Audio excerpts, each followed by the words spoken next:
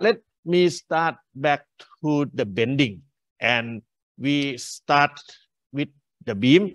And the bending maybe occur in the beam and also maybe occur in the frame. But the beam is more easier to consider.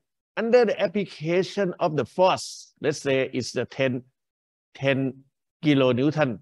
And then what we have is we have the pin over here, we have the roller over here. This beam is the simple beam, which is usually our very popular examination.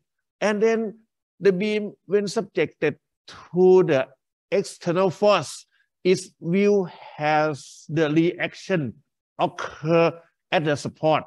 For the pin, you guys will know that that is going to be a sub y and also a sub x. That is for the pin. And for the roller, you may determine the b sub y.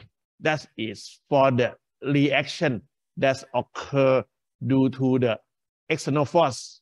And then if you cut the beam by a given section for the x, for example, and then you will be able to draw another free body diagram of that portion of the beam and you will have the internal forces and internal moment that occur on the section of the beam in order to produce the equilibriums to the section of the beam.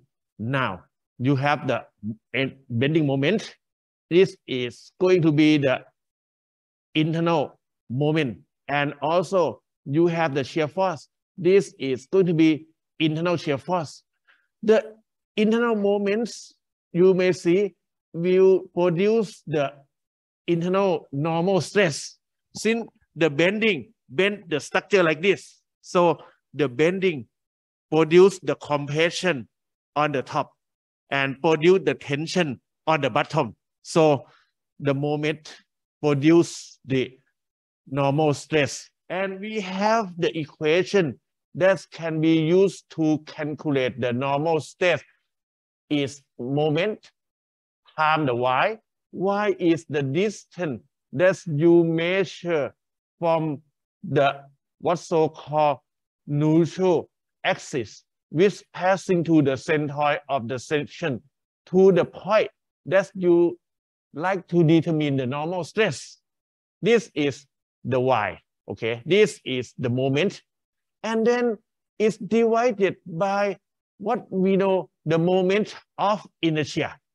And for very simple section like this one, we have this is the neutral axis passing to the centroid. And this, the width is B, the depth is H, we will have the I equal to be H cubed over 12. I think you guys, all of you remember this equation, right? And then later for the section like the I, we will use this equation to determine the moment of inertia. The I is from what? Engine static. The M over here is from what? Engine static. So this subject is the application of the previous knowledge from the static, okay? And then from this one, you will start to determine the normal stress. This is what we have in chapter, chapter six. And then for the shear stress, that's going to produce the shear, the shear force, the shear, the shear force produce the shear stress. We will have the equation the tau. And I will mention in the second part of this lecture is going to be equal to the shear force times the Q divided by the I and the T. And I should mention about I is the same I as we have for the stress over here. That's why I is important, okay? And how about the T? The T is going to be the width at the point you are trying to find the shear stress. So this one also known, okay? And how about the V? The V is over here, okay? So the red, okay, variable is going to be what we have learned before. So what we going to study is not really new. is just come from engineering static, okay? And uh, if you guys have a chance and uh, review some of your previous knowledge, I believe uh, you are ready for the next lecture. And in this assumption, we said first, the cross section of the beam must be constant. That is its typical beam. If you take a look at the beam in this building, all of the beam have the constant cross section. And also, and also the section that we consider must be in symmetry. What is is the section must be in symmetry. Like this one, this I section has the axis of symmetry in the y and in the x direction. And also for the rectangular section, we have what's so called double symmetry. And from the static, we have some section that's also in symmetry, such as the C, such as the T. This kind of section can be in this study since this C and this T is, is single symmetry and follow the assumption over here. For the other section, like the L, this one has no symmetry. So you don't need to study it. You can skip when you find it in the textbook. Okay, this one we will not interested in. We interested for the single symmetry section and double symmetry section. And then the beam must make by the what's so called isotropic material.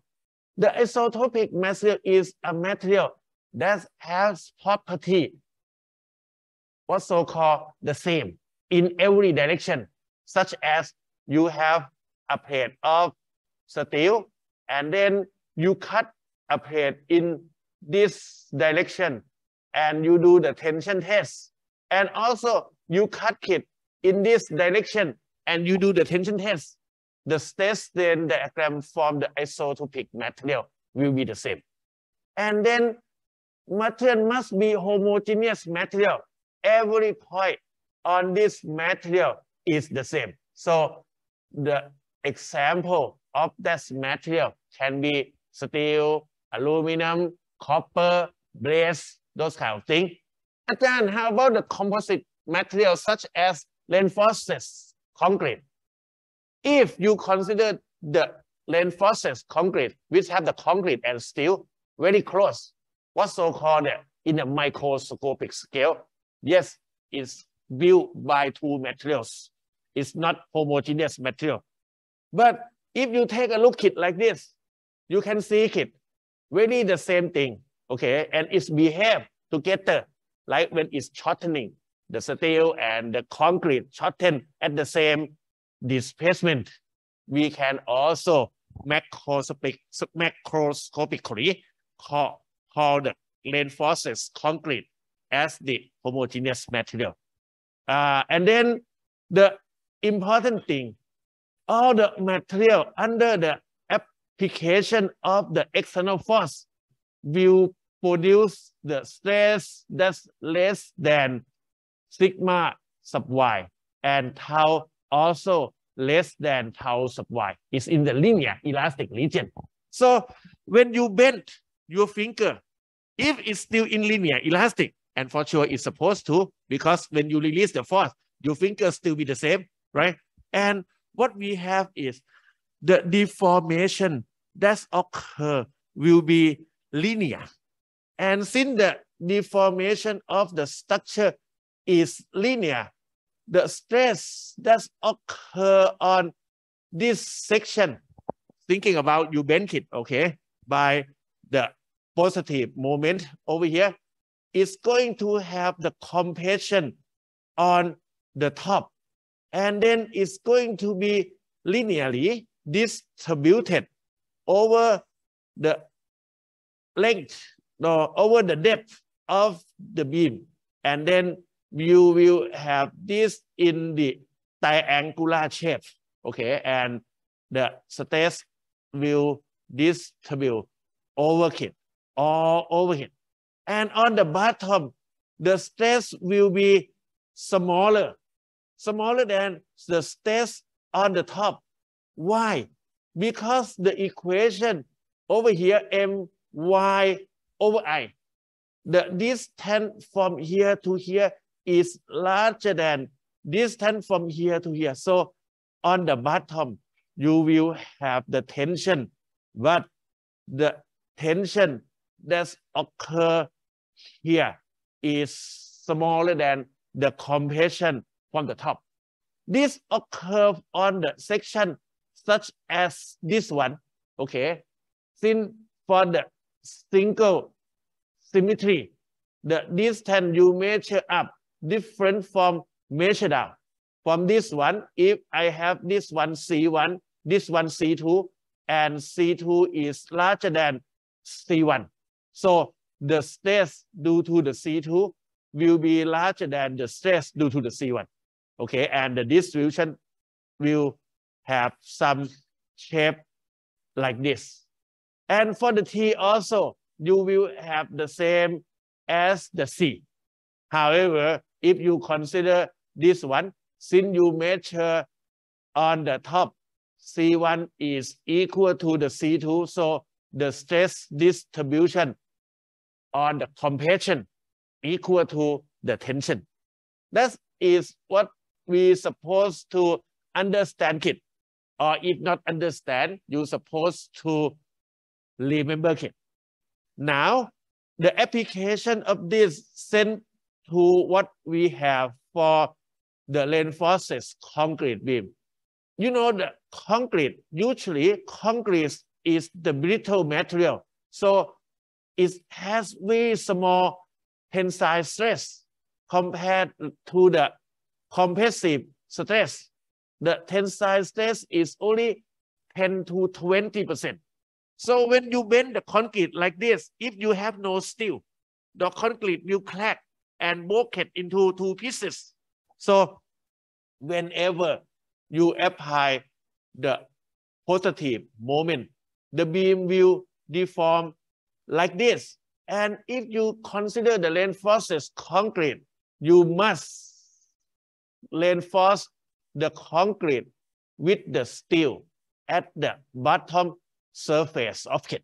Okay, that's another application. But we didn't concentrate on the concrete in this subject. We will concentrate on steel, aluminum, brass, those kind of metallurgical material. Okay, and but sets up on this one, and we have this equation. Then I will take you to the part that what we're going to use the required equation. So the other part, just the explanation to you guys, I did show you already about how the structure deform. And I should say something due to this rubber bar. One important thing I like to mention again, due to the positive moment, the top is going to be in compression since the top is in contraction and the bottom gonna be in tension because the bottom is in elongation. Anything that's changed from negative to positive, they're supposed to have somewhere between it to be zero. So there is a point over here that has zero stress. There is neutral, okay? And then we call that is at the neutral axis that has no stress. So on this point, the stress is zero.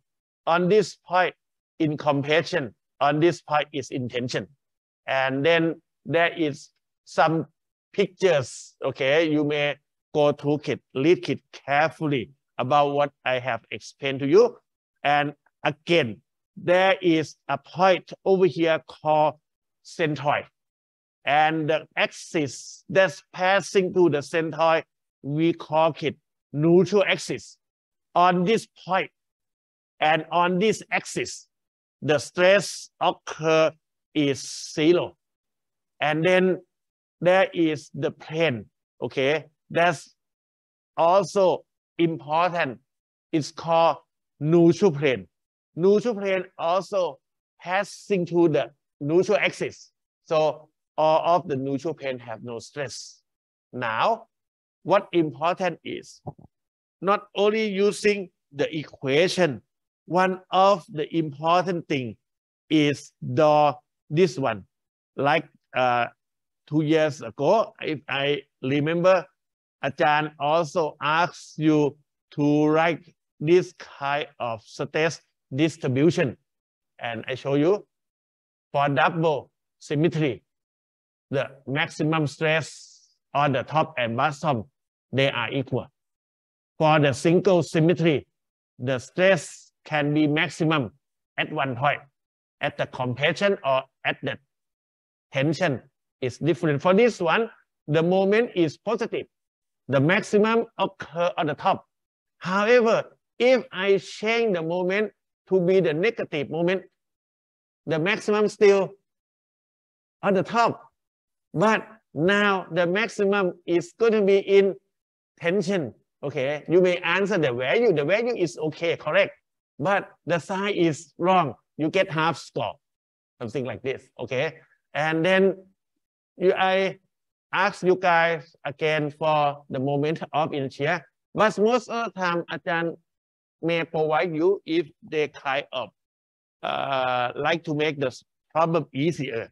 But if this problem is assigned as a tough problem, a hard work problem, you may need to determine the I.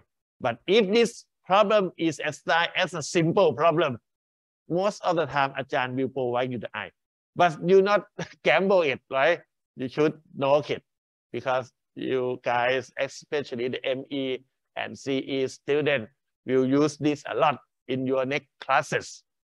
Also, come to this one, we have the equation of the stress equal to the moment time y divided by the i.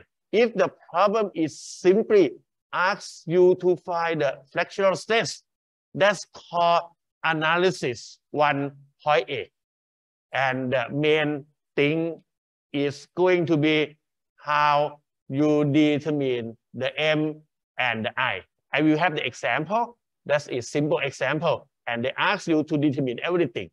And then if you like this one again, it can be M equal to, now the stress is going to be allowable, sigma allowable. And then time the moment of inertia from this one and divided by the I. This is going to be the internal moment, okay? And then if they ask you to determine the allowable apply force, you need to use the free body diagram and equation of equilibrium to determine what's so-called allowable force that's applied on the structure. That's called analysis 1.b. And then the last one that you may know, this is going to be in the problem number three. This is going to be in the problem number one. Okay, this is going to be in the problem number three. But Ajahn will teach the three of this at the same time because uh, I don't think we supposed to leave design until chapter 11. That's too far away. So on this one, again, the equation will be rewritten. Written for what? Now they have this one as the sigma allowable. On the design of this, you got to determine the Mmax. Now, the moment diagram is important because it is only the way to determine the maximum moment, right? And then you got to have this one. It's going to be, sometimes it's called C. C is only Y max, or may call it Y max, and then divide by the I. From this one, I is the property of the section, Y also. So you just move I over Y is going to be M max over sigma allowable. And by this equation, you can determine the size of the beam. Okay, but it's not finished that. After you get the section of the beam, for example, you get this section. Typically, the beam not only have the maximum moment, it also has the Vmax. Okay, so the chapter 7 come and asking you the section that you get by the maximum moment large enough to taking care of the Vmax, okay? And come to the problem. Ask yourself, first, can you draw the shear diagram and moment diagram? They may just simply check you over here. Let's us start by this section. We like to find sigma max. Since we like to find sigma max, we need to determine M max. When we need to determine M max, we got to draw the moment diagram. Okay, that is a requirement of this one. And then the section is I section. Then is time Y divided by moment of inertia. Sometimes when problem is very easy like this, they also ask you to determine the moment of inertia. And the problem is like that. And following this one, let me start. Since this is the point, let's say A. We have this one A sub Y and this one A sub X. In the examination, don't like the free body diagram on the problem. You may draw a new beam, okay, and then put what's so called the reaction into it. And what we have is what? For this one, if you use the summation of x sub x equal to zero, it's going to be very simple. You will get a sub x to be zero. If you do the summation of the moment at a to be zero, b sub y will rotate in this counterclockwise direction. So I put counterclockwise as the positive. So we have b sub y times 6. And then this will provide what? The resultant force. The resultant force is equal to what? The area. The area of the W. So this is going to be 5 kilonewton per meter times 6 meter. Meter cut meter is going to be 30 kilonewton. So you get it to be in the opposite direction, right? So you move it into another size. So you get this one 30. So B sub Y supposed to be 30 divided by 6 is going to be 5 kilonewton. So you got this one to be 5 kilonewton. Oop, no. I do something wrong, right? 30 times, 30 times, 30 times, forget, 30 times 3, sorry, 30 times 3. So it's going to be 90 divided by 6. It's going to be 15. The moment is not the force. 30 is the force. time 3 meter here. So 15. And then summation of f sub y equal to 0 upward is positive. a sub y plus b sub y now is 30. Then do we have b sub y equal to 30 minus 15? That is 15 kilonewton. You get this result. Or you may just refer to due to the symmetry of the beam, a sub y equal to b sub y, and then you said the a sub y equal to the total of the force 5 times 6 divided by 2. You get the same result. Now, coming to what we usually have from drawing the shear diagram, moment diagram, based on graphical method. You draw the shear, you start with dv by dx equal to minus w. The slope of the shear diagram is equal to minus of the of the distributed force. And also we sub C, V, anyway, anyway, minus V sub B minus V sub A equal to minus of the area, area of W.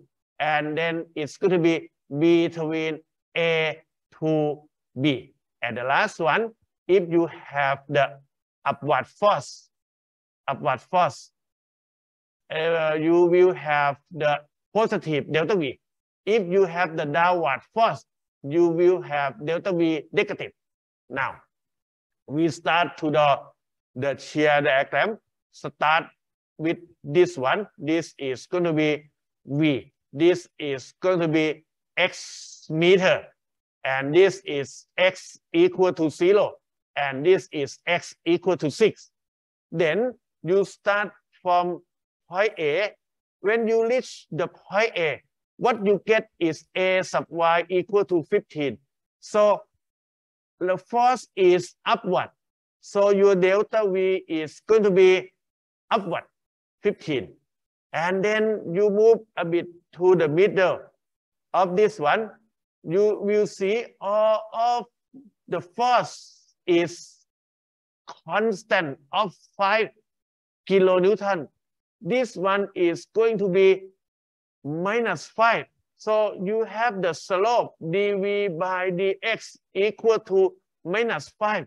Thinking about driving a motorcycle from gate 1 down to the Gokok okay, it's going to be downhill, right? So the slope is going to be downward, downward, downward, downward like this because it's always dv by dx equal to minus 5 until it reaches this point.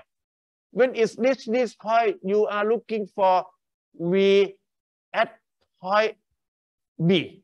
It's going to be minus v at point A minus of the 15 and then it's equal to the negative of this area. And the negative of this area is 30 it's going to be minus 30 so your v sub b will be minus 30 plus 15 that is going to be minus 15 kilonewton. So you get this one for minus 15. Okay, and then basis upon this one, this is 15 kilonewton. So this is upward. So it's take this one back to this point. And since this one is positive and negative, and they are in symmetry, so this will be zero at three meters. Okay. And now you a bit move on to the next moment diagram. Now, this is the pin. There is no external forces. And then this is the roller. No, no external moment. This also no external moment. So you will see all of the moment that occur on this point A is zero. On this point B is zero. You immediately know that basis upon observe the, the support. And then this is the distance x meter. When you take this one, you may recall back the equation that you have dm by dx equal to minus w. Okay, and also, if you have kit m sub b minus m sub a is equal to the area of v between a to b. Okay, and the last one, if you have the counterclockwise moment, delta M is negative. If you have clockwise moment, delta M is positive. And then let's put this one in the graph. We have the moment is in kilonewton meter. And at this point start with zero. Then we have the shear of 15. Since the shear is 15 over here, we have this equation, the slope over here, dm by dx equal to positive 15. Okay. And then the slope will reduce like you kick a ball. You kick a ball, you kick a ball, it's the projectile, right? And then it's going to reach the top. When it's reach the top, any maximum will produce this one, dm by dx equal to zero. This is in horizontal. And what's going to be the value of the moment here? We come to this equation. We have m, m at this point minus zero at this point, and then is equal to, equal to what? Equal to the area under this one, one half of the base of 3. And then the height is 15. You get this one to be m equal to 45 divided by 2. That is going to be 22.5 kilonewton meter. So this is going to be plus 22.5. And then here just reduce, okay? It's just reduce the slope. The slope dv dm by dx equal to v reduce. And when it's reached at point B, you have the slope over here, dm by dx equal to minus 15. Now, on this conclusion, you will get the same result and then you get m max equal to 22.5. Now you reach this one already, right? The I, we come to this section.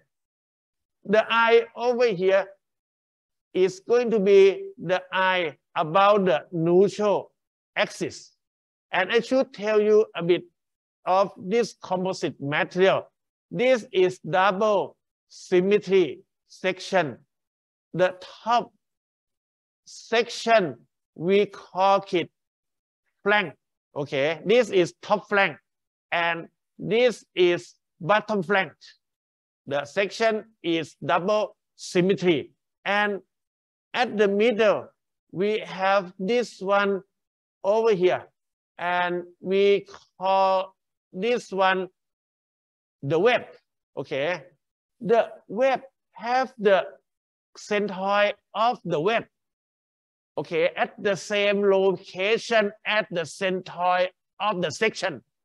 Since the section is double symmetry, so the moment of inertia of the web will be, the width is going to be 20 and the depth is 300 cube over 12. That's it. And then for the flank, for the flank, you have the centroid of the flank at this location is at the half thickness of this one. So the moment of inertia about the centroid of the flank is going to be the width of the flank is 250 and the thickness over here is 20 cube divided by 12.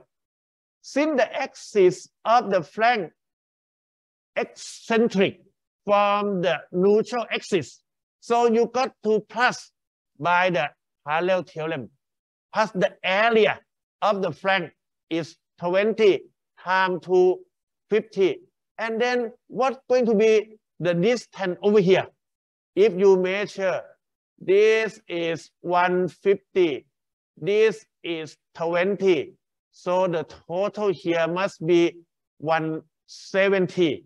And then there is half of the thickness. Uh, let me put it in red color. Half of the thickness here.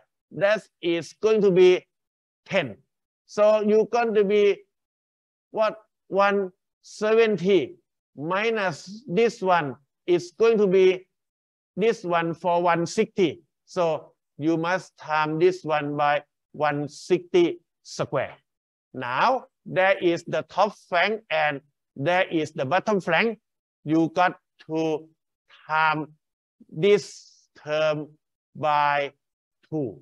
In, in the uh, PowerPoint, they can calculate it in meter, okay? And then you can check the same number is here and you got to time it by two. But for the web, we have only one of kit. It's going to be this term and then you get the result of this. And if you do by my calculation, you will get it to be 301.310 power 6 millimeter powerful.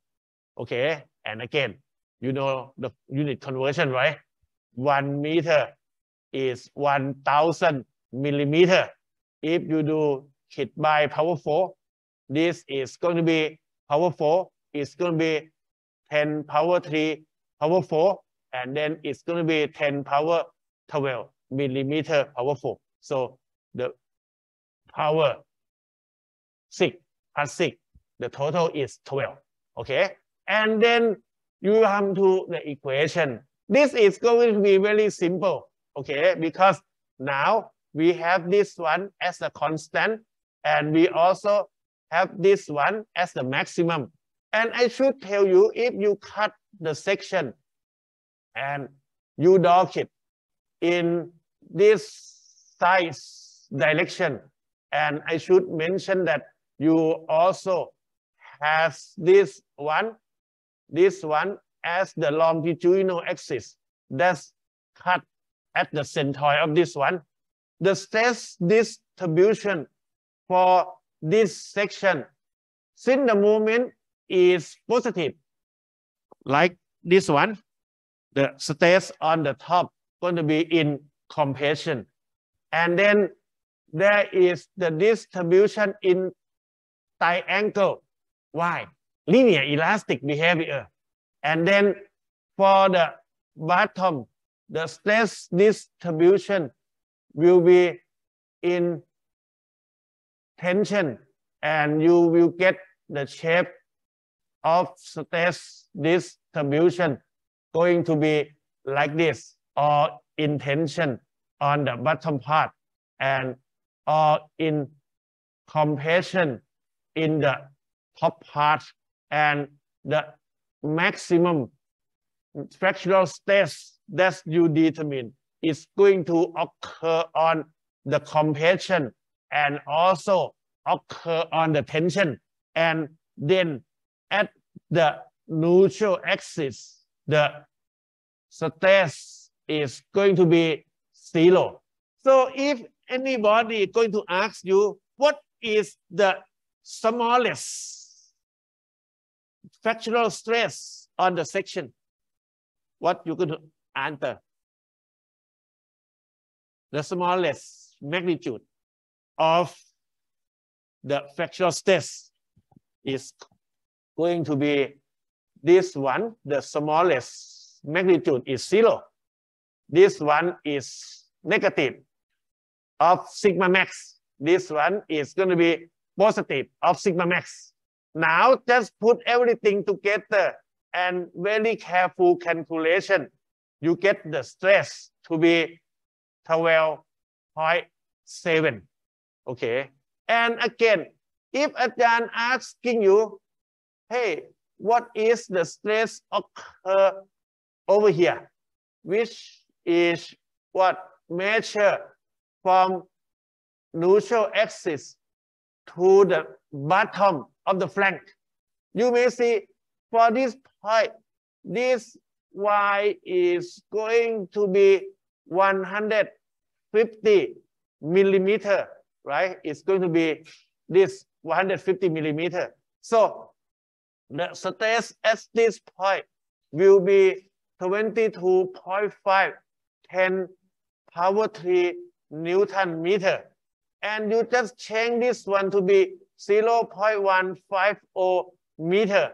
And then you divide this one by 301.310 minus 6. Okay, you may get the answer, right? But I just skip this one for a while. There is the second method that's used to determine the stress. Since this is the triangle, okay, so you consider the slope. If you take 12.7 divided by 150, 12.7 divided by, sorry, 170, okay, it's going to be equal to what you are looking for is the stress over here. It's going to be the stress divided by the distance here, 150. So the stress here is going to be what's so-called 150 divided by 170 and then times 12.7, you will get the same result. Okay, eh? you will get the same result. It's up to you which way you like to calculate. It's okay. If you go a little bit further, this 17.12.7 is less than sigma sub y. It is in linear elastic. And then you will get that result of 12.7 is going to be the stress at point B on this PowerPoint. It's two way.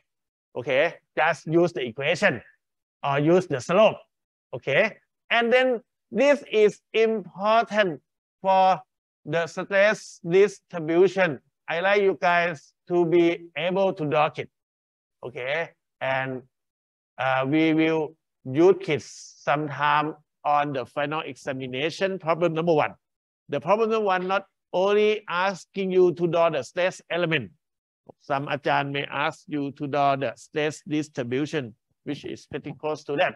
And then in reality, the distribution of the stress on the I section is like this.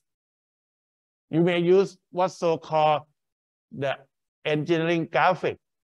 I just know that all of you guys get very good grade from this course, okay?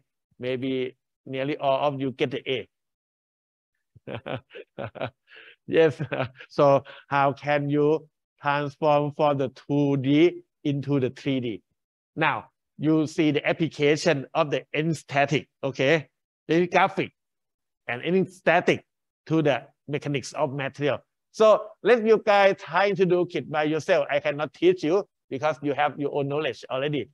And in reality, at the point over here, the material point is not just a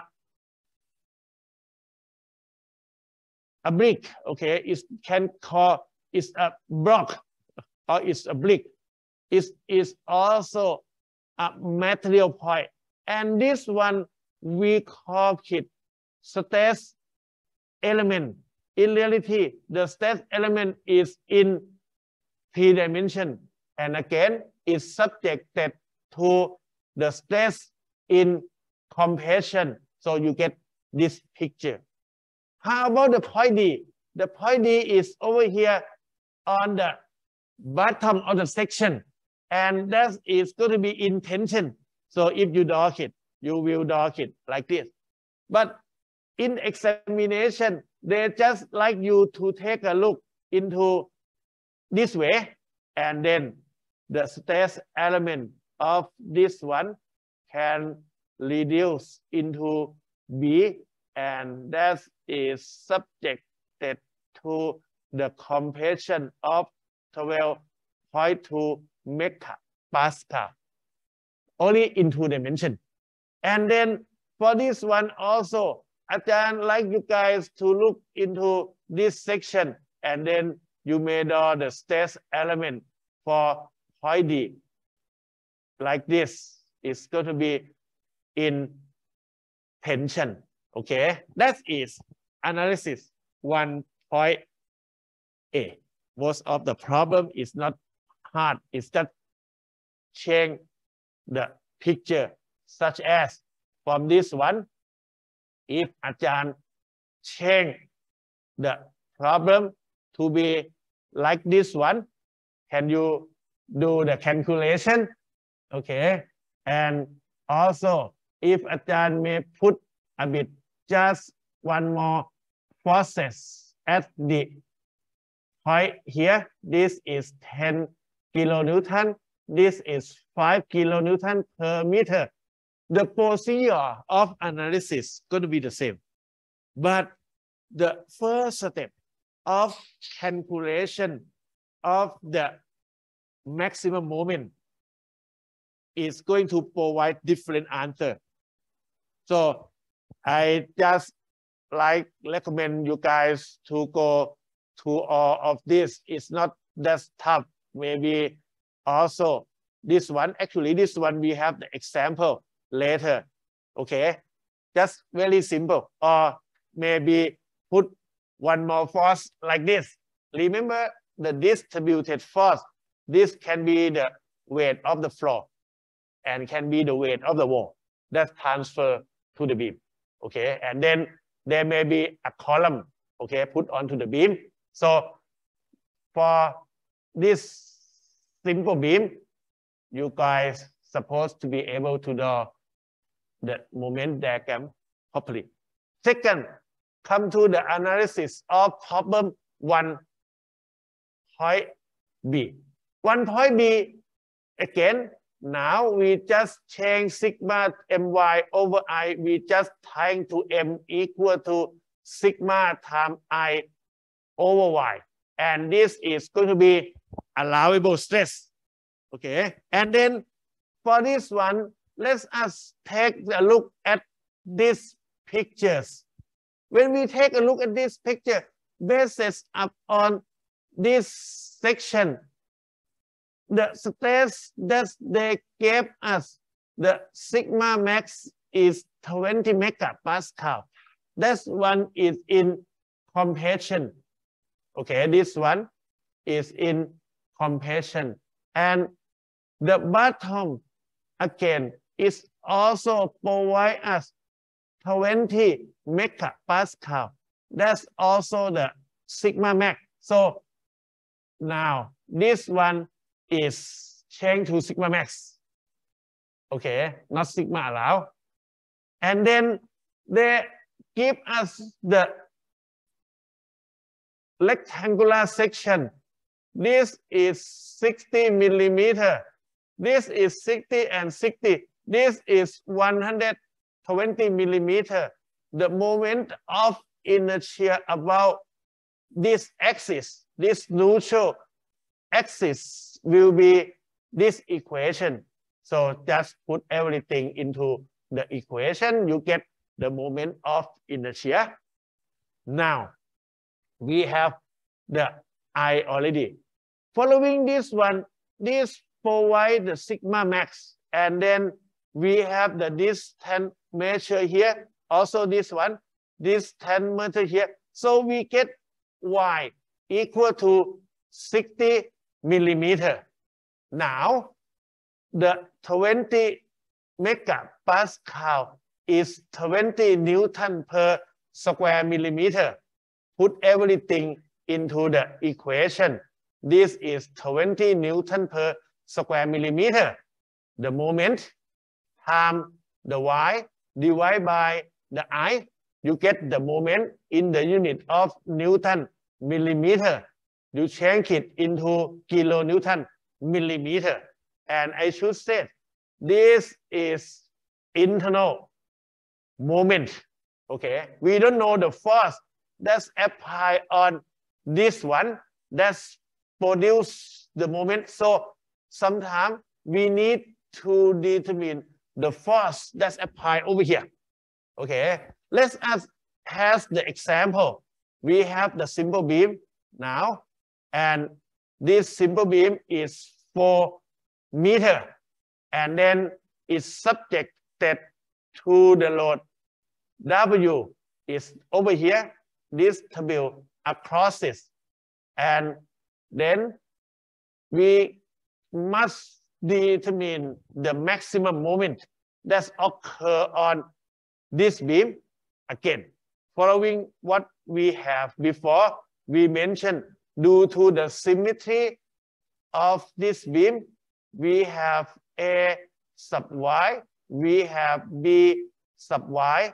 We may say due to the symmetry, we have A sub y equal to B sub y equal to the total force of 4 times W divided by 2. So A sub y is going to be 2W. B sub y also equal to 2W. Okay. And following this one again, we will have what? We will have the maximum moment that occur as the half of this one. So basis upon this one, you have this one for 2W and this one for W. We have the maximum moment occur at the middle of the beam that we know it from the previous example, right? Right? And then this is going to be the moment that occur over here. So you may do the summation of the moment equal to zero over here. What we get is the moment over here is counterclockwise. So the moment is going to be plus Plus by what? The this is 2, this is W, this is 2W.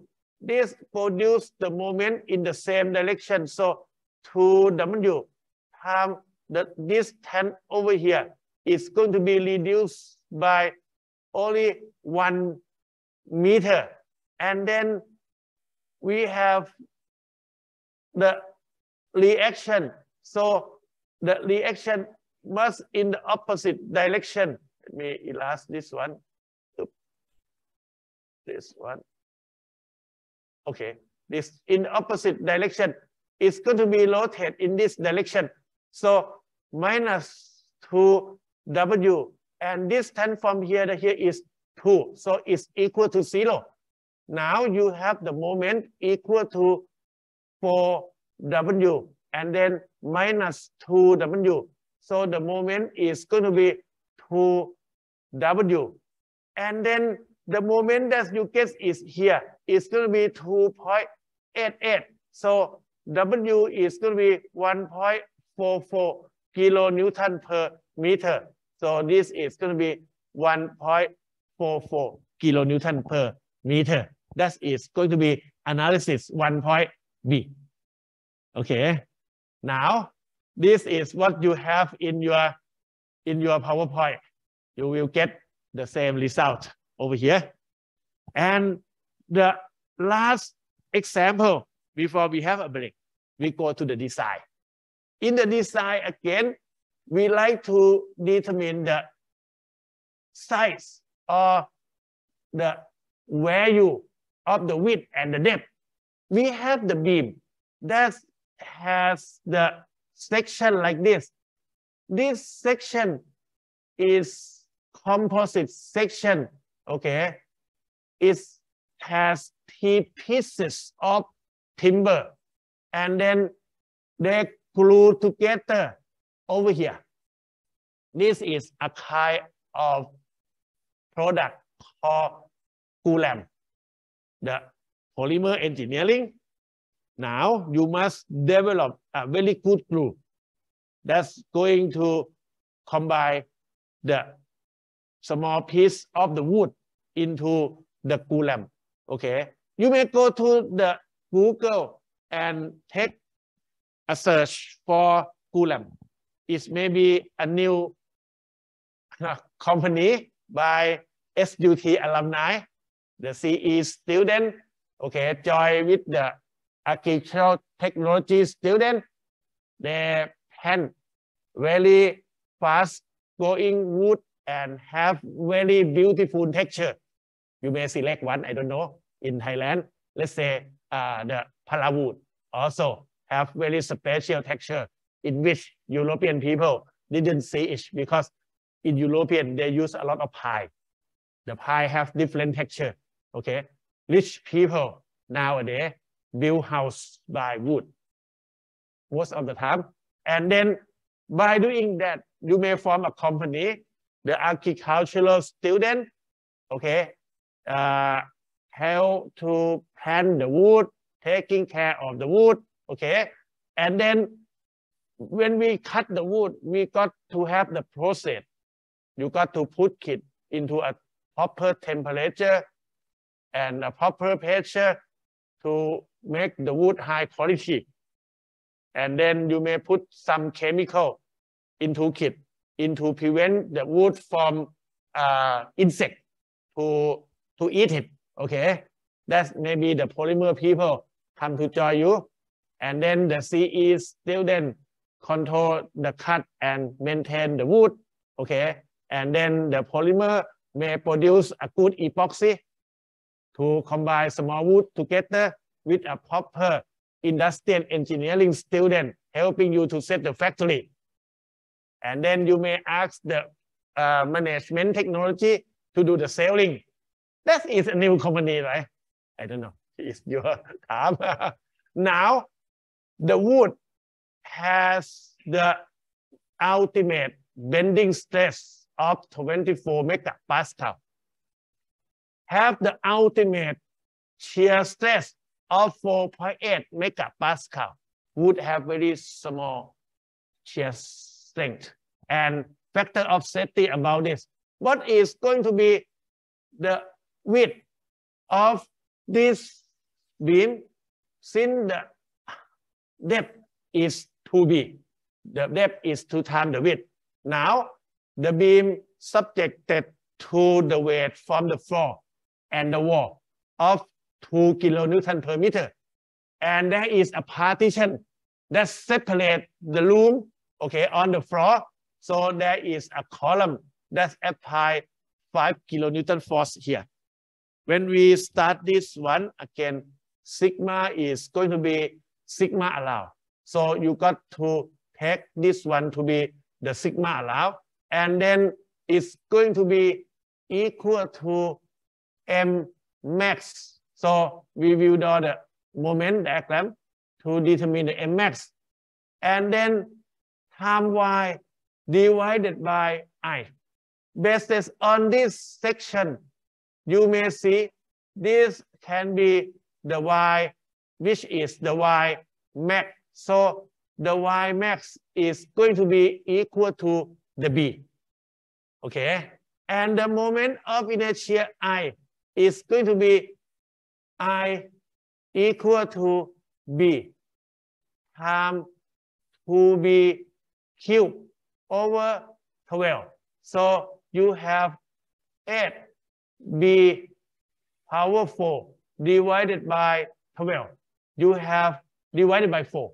It's going to be 2b power 4 divided by 3. So these two terms, you can determine it easily. Now, if you do so, you may have i over y equal to this one, i y equal to m max divided by sigma allow.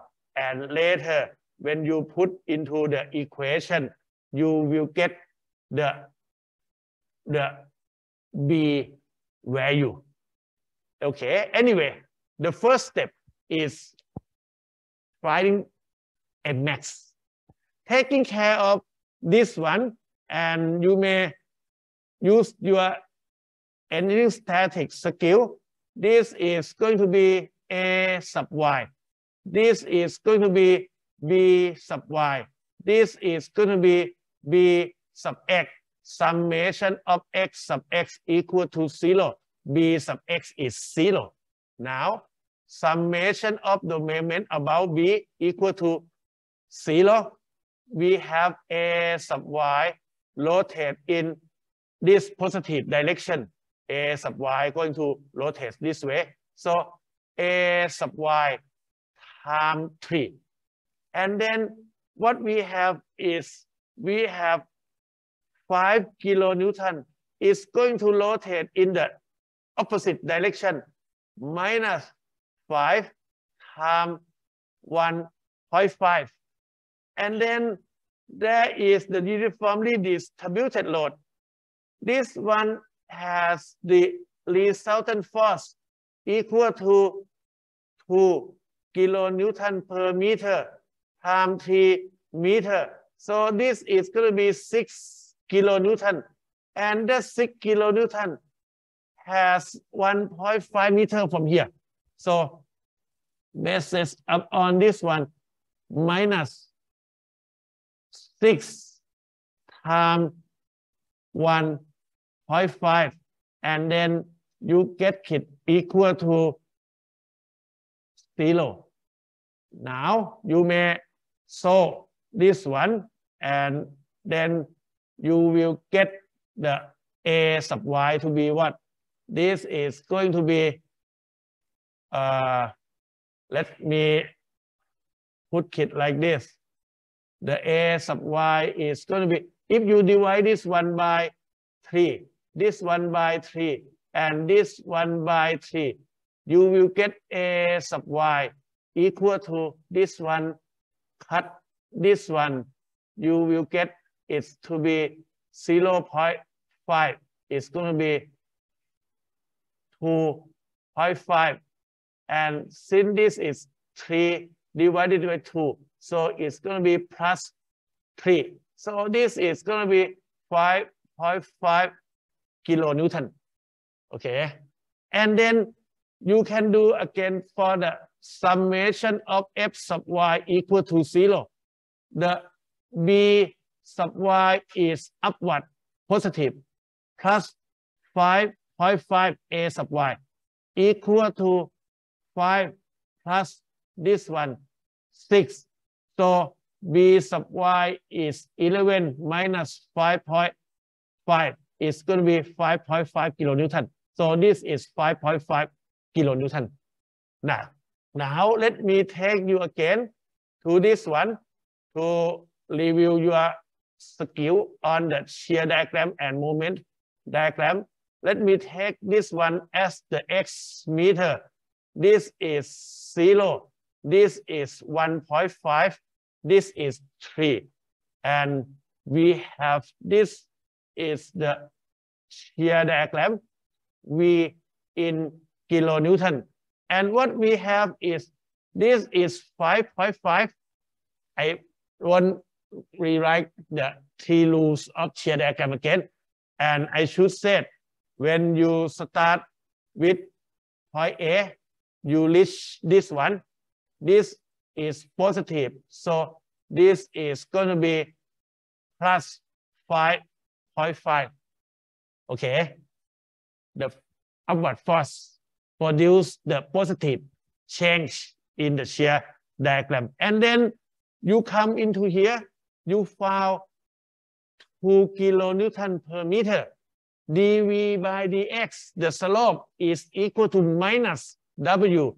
So the slope must be dv d by dx equal to minus 2. So it's going to be get downward like this one. And what the value of this? Let me put it over here. Uh, V, that is over here, minus this one, 5.5 equal to minus of the area of W from here to here. It's going to be 2 times, this one is going to be minus 3. So your V is going to be 5.5 minus 3. So it's going to be 2.5 kilonewton. So this is going to be 2.5. And then you hit the point of what? Of 5 kilonewton. This one will take the diagram down over here by minus 5 downward plus 2.5. So it's going to be minus 2.5. Okay. And then you guys come to this portion and you can see of W is minus 2. So the slope is going to be the same as before. It's going to be minus 2, minus 2, minus 2. Now you reach this point, and I proved to you guys already from the previous one. At the end of this one, the value of the shear at this point must be equal to the reaction. You can prove it. This one for sure, since this must take upward for 5.5. So the value of here is going to be minus 5.5. You may say, okay, Ajahn, I don't believe you. If you don't believe me, we sub B over here, minus this one, minus minus 2.5. The stress, the shear stress over here, equal to this one, minus 3. See, the V sub B going to be minus 3 minus 2.5 and it's minus 5.5. Proof. Okay. Remember, kid, it's always like this. You don't need to do the calculation. Most of the time, most of the time, 99%, is going to be the value of the reaction over here and take the negative. And next, we come to the diagram over here. Let me take this one x meter. And there is no external moment. And this is roller and this is pin. So this is zero. And this is zero value. At the distance of what? Distance of this one for zero meter, 1.5 meter, and 3 meter. And now, when you take the moment diagram, please take a look at the shear diagram. This is the slope dm by dx equal to plus 5.5. And then the slope will be get smaller, smaller, smaller. And when it reach this point, the value of shear is 2.5. So dm by dx equal to 2.5. And what is the value of the moment here? We do calculation m over here minus 0. And then it's going to equal to the area over here. That's going to be one half of this is 1.5, 1.5. And this is going to be 5.5 plus 2.5. That is going to be 8, right? 7, 8, okay? 8, and then divided to m is going to be 1.5 times 8 divided by 2. So this is supposed to be 6 kilonewton meter. And then when you left this one, again, you come to the point having shear over here. Now the shear is negative. So this one, dm by dx equal to minus 2.5. And then the slope just gets smaller and smaller and smaller until it's reached this point. When it's reached this point, you have the shear of what? Minus 5.5. So dm by dx equal to minus 5.5. By doing this one, you will get the m max over here. And for the design, you got to determine sigma allow. So just divide it by factor of safety. That is very simple. And for the shear and moment diagram, you get the result as I show you. Vmax can be positive and negative. Not only positive, right? It's negative and positive. And M is 6 kilonewton meter. Now, the problem is going to be not hard. We have the I already. So just put this one. This is going to be Newton per square meter, sigma allow. And this is 6,000 Newton meter. And again, Y max is B and I. Now, you got to do a very careful calculation, the same as you did on the torsion problem. The torsion problem is root of 4, if I recall. This is a root of 3. You get B equal to 91 millimeter. So the depth is 182 millimeter. When you buy kit, you may buy 100 millimeter times 200 millimeter, a bigger. You cannot buy 100. You, you cannot buy like 50 times 100, something like that. Okay, buy a bigger one. So that is the end of chapter 6 that we use on the problem 3.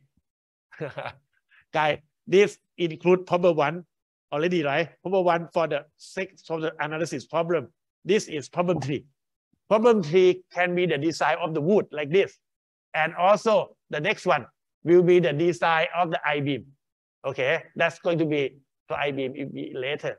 And for this one, let me tell you one more thing.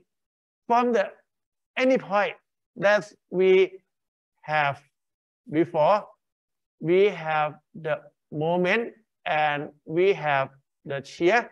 Okay, the moment produce the the normal force for this one, compression in the top, tension in the bottom.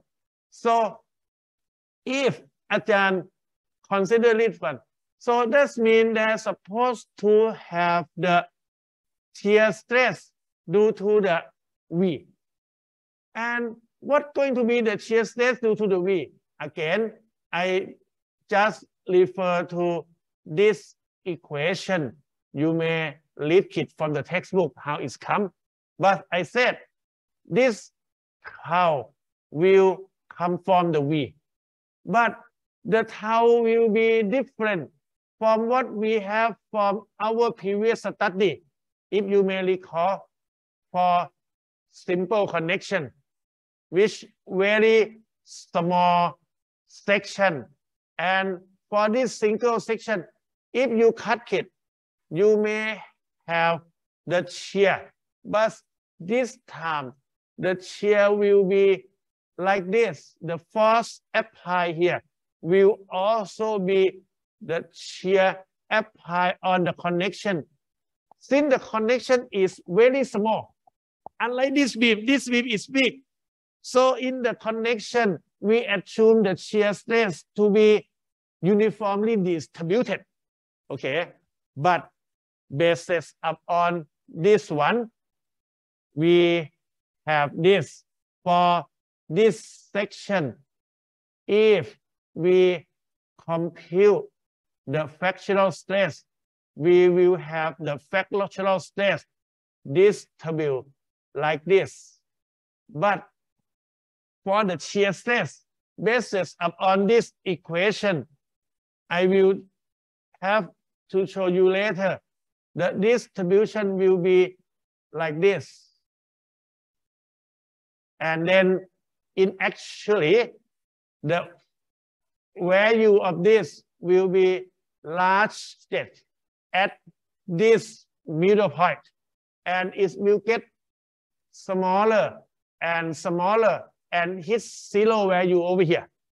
And also this one will get smaller, smaller and zero over here.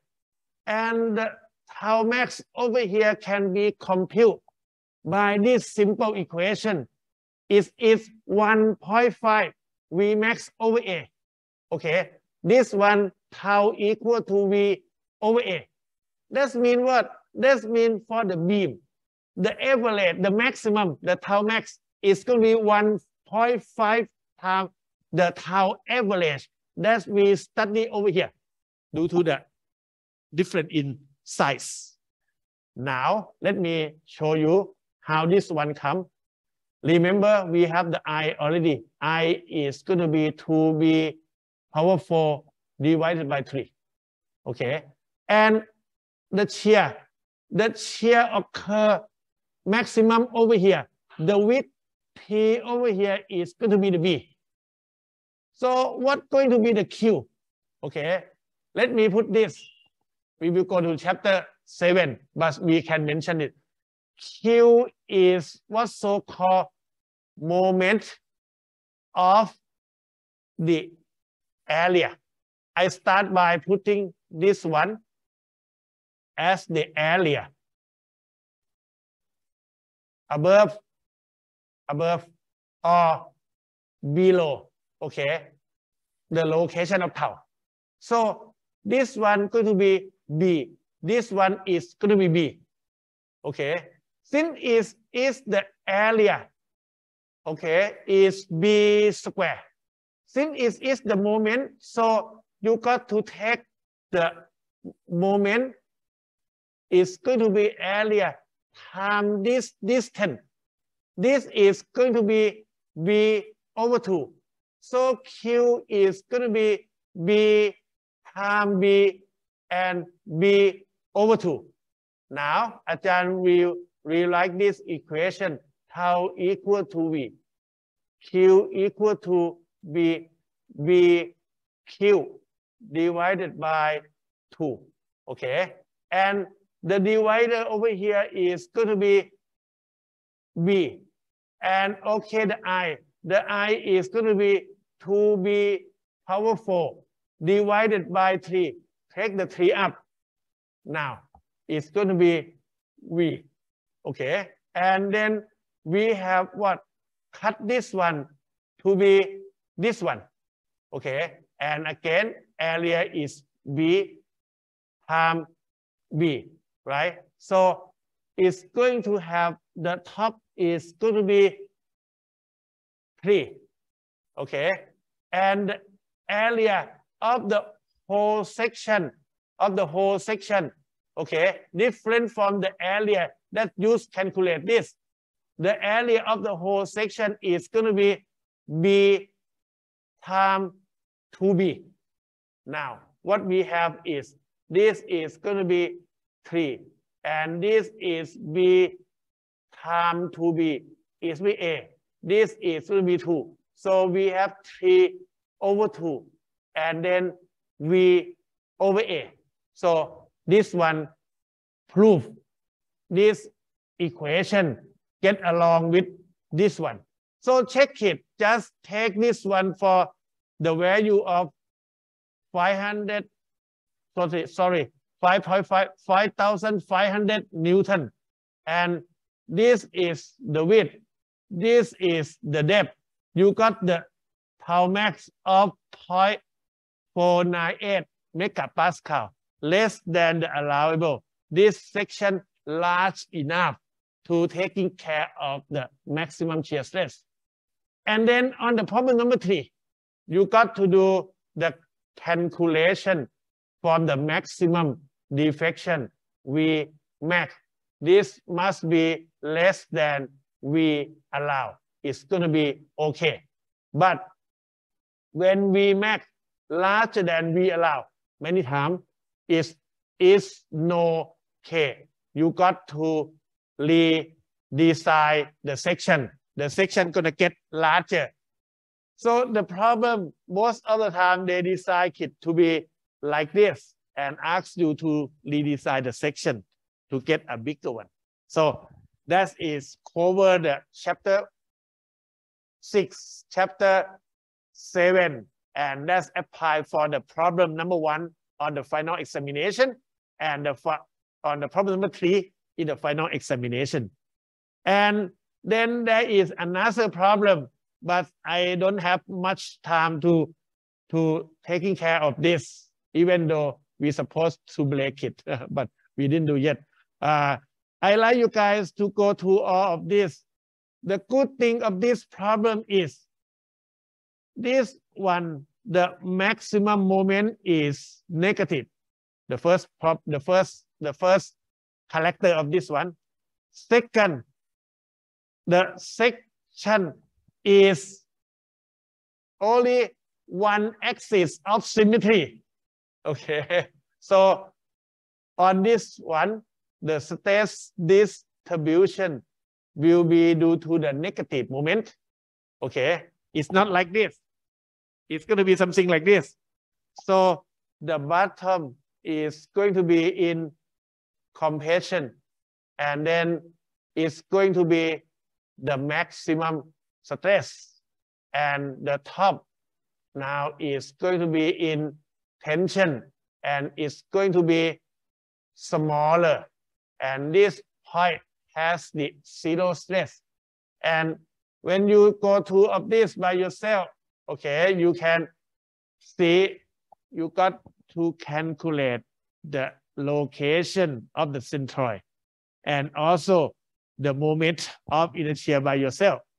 Okay, this problem is called very hard problem. It was 10 years ago. And if this one is hard, the author will be simple. Okay, it's always like that. And I like you guys to go to this problem by your own. Okay, and then you can see this is minus 84.2, 25.3. The stress going to be 25.3 over here and 85.4 megapascal over here. The stress distribution will be like this one, okay? And this one, again, usually the previous very old examination and most of the time, the old examination may rotate to this point. And that's for chapter six. We will have what's so-called three-dimensional building, three bending. And I will mention that one in the chapter eight. I upload the chapter eight into the Facebook group already. And uh, for this one, uh, let's take a break for four minutes and I will come to chapter seven. Okay. As you know, on the beam, such as the one that we have over here, if you like to see the beam similar to this one, you may go to the Samyak Park, Okay, that your motorcycle over there about uh, 12 kilometers and take a look under the bridge. You will see there is going to have a small beam that support the slab on kit. And then there is the vehicle that's dive by and the force that's transferring onto on the structure, you cannot see it. Or even the, the deformation because in the design of the beam, they control the stress that occur due to, due to the load of the vehicle over kit to be very small. Also the deflection. But in this subject, you guys supposed to use your imagination and then you may transfer all the load that's applied on the surface of this bridge and transfer to this one. And again, if you cut any point of this during the operation, the beam is in equilibrium. So there is some internal forces. The internal forces inside it is going to be the transverse shear force. And also there is the internal moment. You know that we have it in the chapter six. And now I will start by taking you to it's very hard to show you with, physical thing. So I should show you only with the graphical pictures, how the beam will deform under the shear force. And then there is the equation that I just mentioned to you, how equal to V, you know it already, divided by I, you know it already. And T, only Q, that is a new variable that I tell you is going to be the moment of the area above or below the, the point that you find out. And then there's going to be two type of problem. One is the analysis. So you got to draw the shear distribution. If the section is rectangular, okay, the distribution is like this. If the section is the I section, the distribution will be like this. I like you guys start by remember kit and then I will explain to you the shape of kit later. If the section has T section, the distribution of the shear stress will be like this. And also, if we have the, the C section, the distribution will be like this. Okay, first thing. Second thing I'd like to show you is the maximum shear stress. Maximum shear stress will occur over here from rectangular section. The maximum shear stress will occur over here for the I section. Occur and what? Occur on the neutral axis. Occur at the axis. That's the flexural stress equal to zero. Okay, and then for this one also, it will occur on the neutral axis of the section. Okay, I will explain the shape of this to you later. Okay, and anyway, on the start of my studying, I remember it first, and then I will try to understand it later. That's my technique of studying. Remember first, and trying to understand later. If you try to understand only, it's going to be very tough. Okay, and then we are we were we were we were we will test uh, some concrete beam in our lab. Okay, if the beam is very long beam, then the deflection of the beam will be large, and then you will see a lot of crack occur at the middle portion of the beam. This kind of crack is due to the tensile stress, and the tensile stress due to the bending moment and the bending moment due to the external force. Okay, but when the beam is a bit shorter, and then we test it, we find the crack occur over here. Also, the crack occur in this region. But if we interested in this one, the crack initiate both by the tensile stress and shear stress. So the important shear stress come when you design a short beam.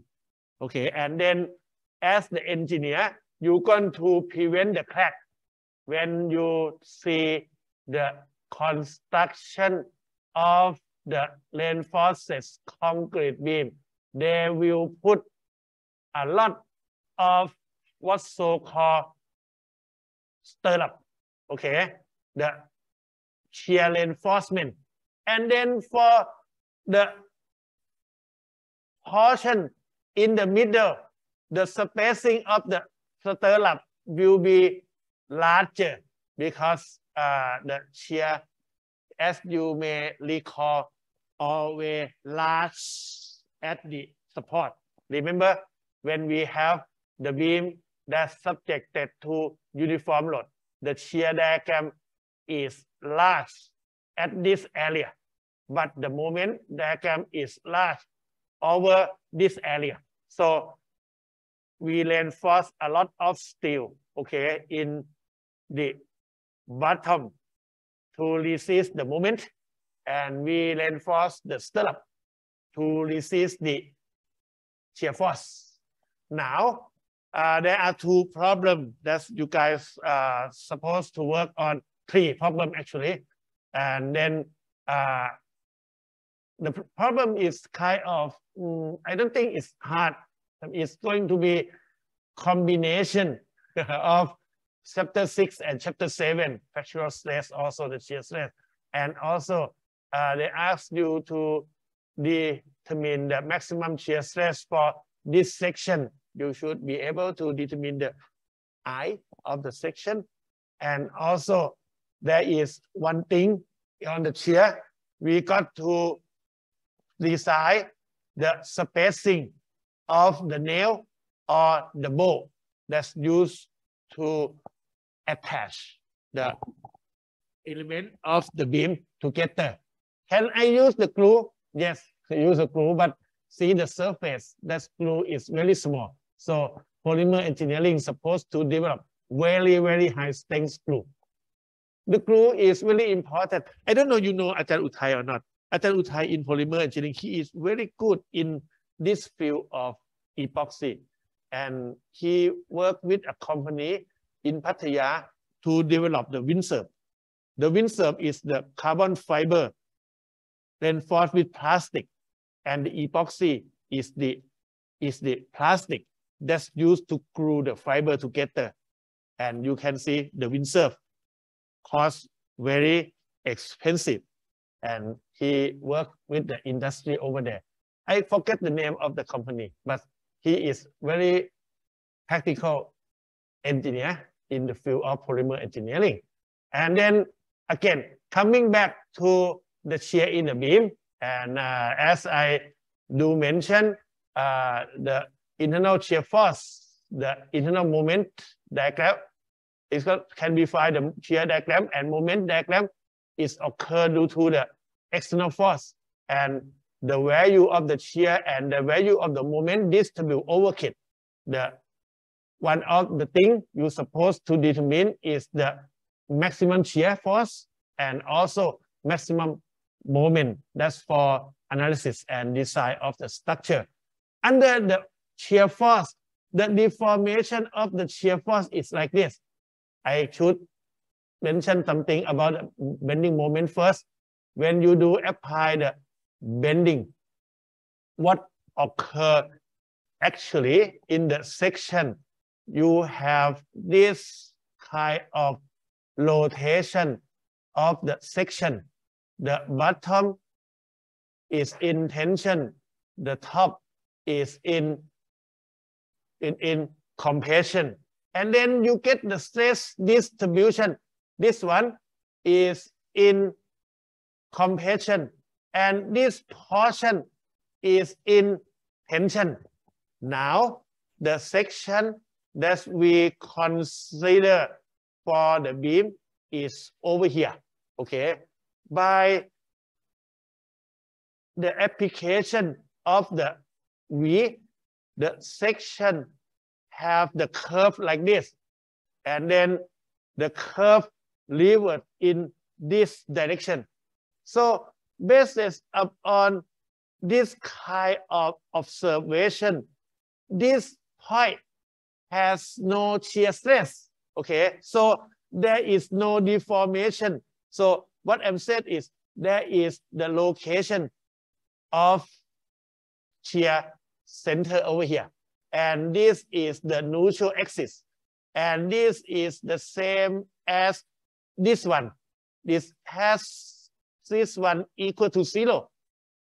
And based on this one, this one going to be the point that's change the curve, okay? So the stress that occur on this one, the shear stress is max. Now, I already show you, you can see when this move is have the compression, see? When this curve is has the shear stress curve like this. And also for this curve, there is the shear stress curve like this. And at this point, we have tau max. That is the observation between the deformation of the shear force on the rubber beam and trying to relate physically with what we have for the equation. Now, we may go to another thing.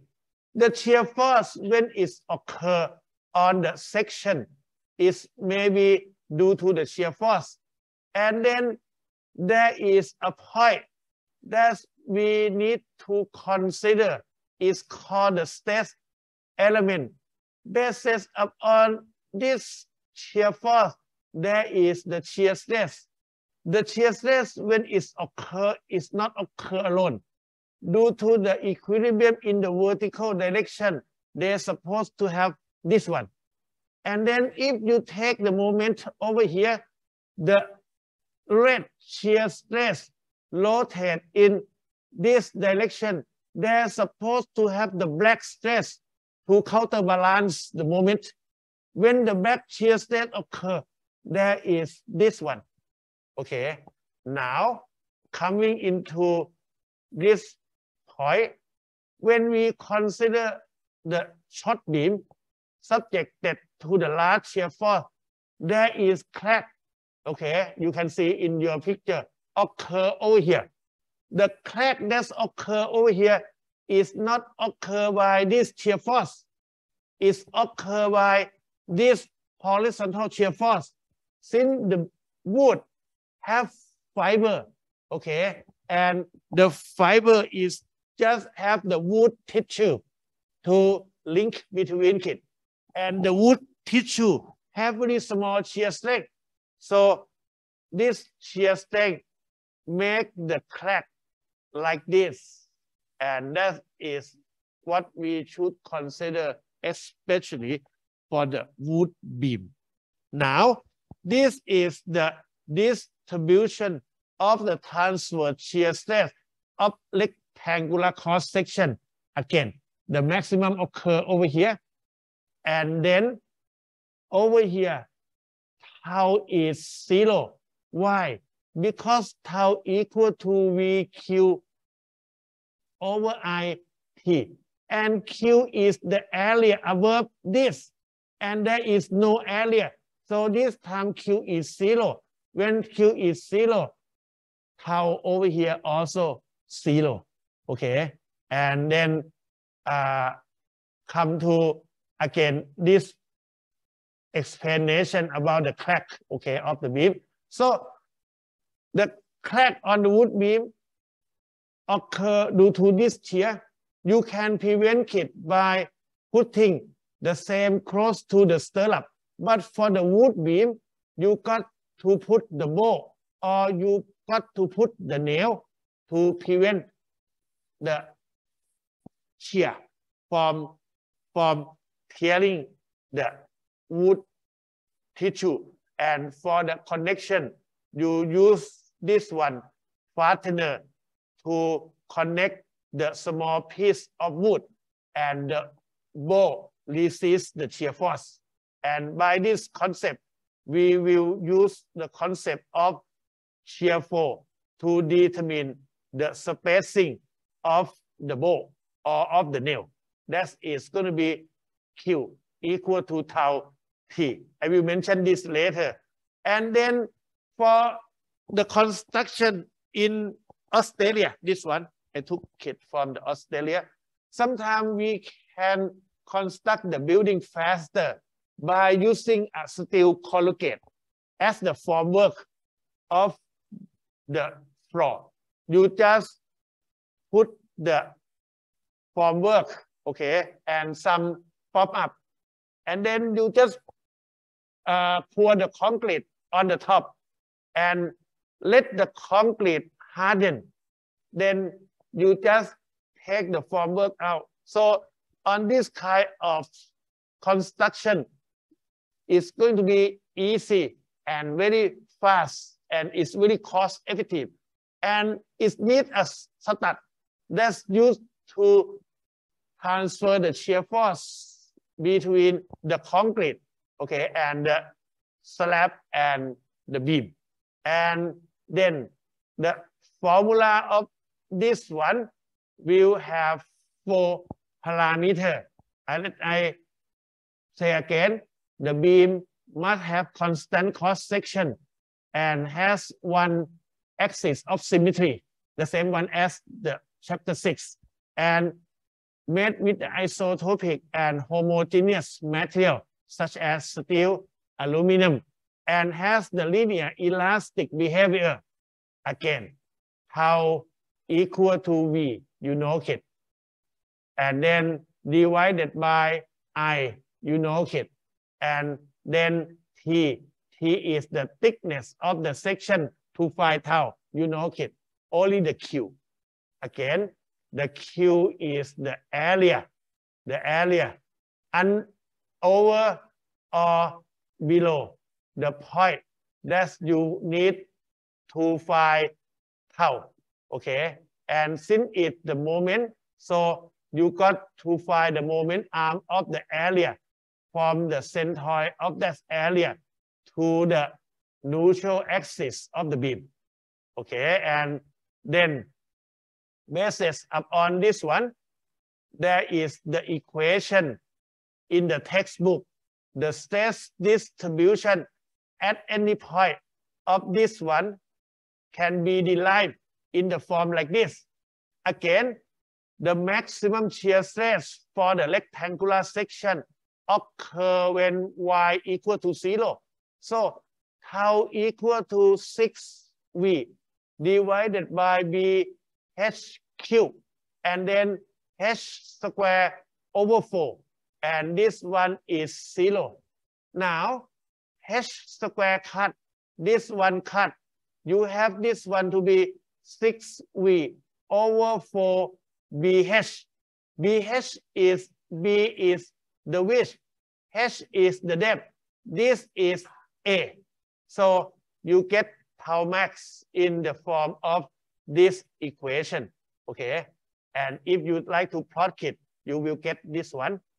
And then when we come to the section like this, uh, wait uh, five more minutes. Let's talk later than that. Okay. After finish my class. And then when we have the I section, what happened is the I section has the flank that is over here. The flank have the width of B. So when you compute tau palm, it's going to be V Q of the flank, okay, divided by I T of the flank. However, when you move to this point, it's going to be connect to the flank. The shear stress over here will be tau double palm. It's going to be V Q of the flank divided by I. Now, up, T, T is change. T is change to what? T is change only to this one. This is TW. So it's divided by TW. Let's say TW is 10 millimeter and this is T flank is equal to 100 millimeter.